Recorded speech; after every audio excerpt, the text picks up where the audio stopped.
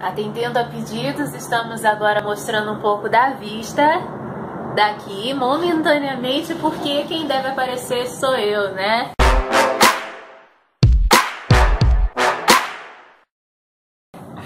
Acabamos de voltar da USP, da Faculdade de Medicina da USP, uh, né, o topo do mundo, porque eu estava palestrando no evento sobre negritude no Brasil atual, na Semana de Diversidade. Eu lhe digo que o maior aprendizado de hoje é a carteirada, porque eu, né, estava de uma forma muito discreta com essa viagem, mas foi necessário postar que eu estava na USP por um motivo de afirmação, dizer eu tô lá.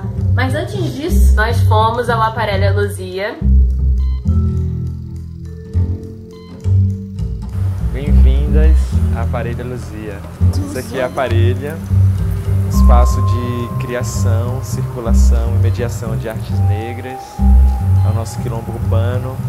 E aí a gente pensa nas artes negras desde o ponto de vista do, das linguagens artísticas, da dança, do teatro, da literatura, a encontros políticos. É um espaço que é uma grande instalação, na verdade, isso daqui, né? É, é, é um espaço físico que fala sobre muitas coisas que dizem respeito à historicidade e às artes e à militância do povo negro. Tava tendo exibição do Cabela e toda uma discussão sobre pessoas trans, sobre travestis e eu acho que a gente nunca passou tanto tempo na vida ouvindo essas pessoas. Foi Exato. muito interessante. É. Vamos... Trans e travestis negras é um detalhe, né? É, não, porque eu, assim, eu já cheguei num nível que quando eu falo, eu já penso numa pessoa negra.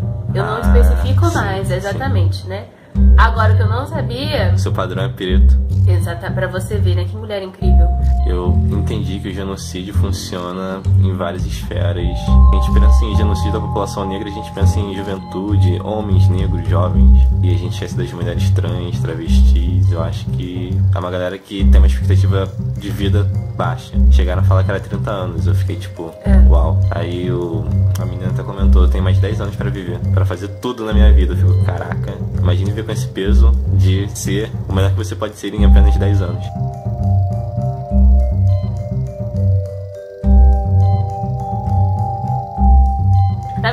Maravilhada. Não sei, acho que isso vai acontecer em diferentes momentos da viagem. Sabe quando a gente assiste os filmes da Pixar?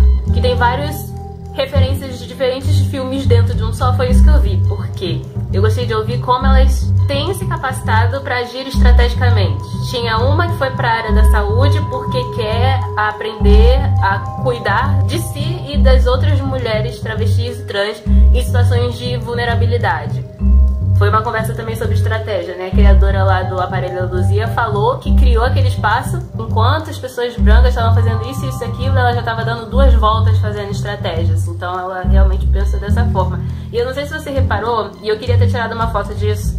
Lá dentro tem um papelão escrito bem grande que as histórias têm outros lados. E eu acho que é esse o grande aprendizado que teve ontem, né?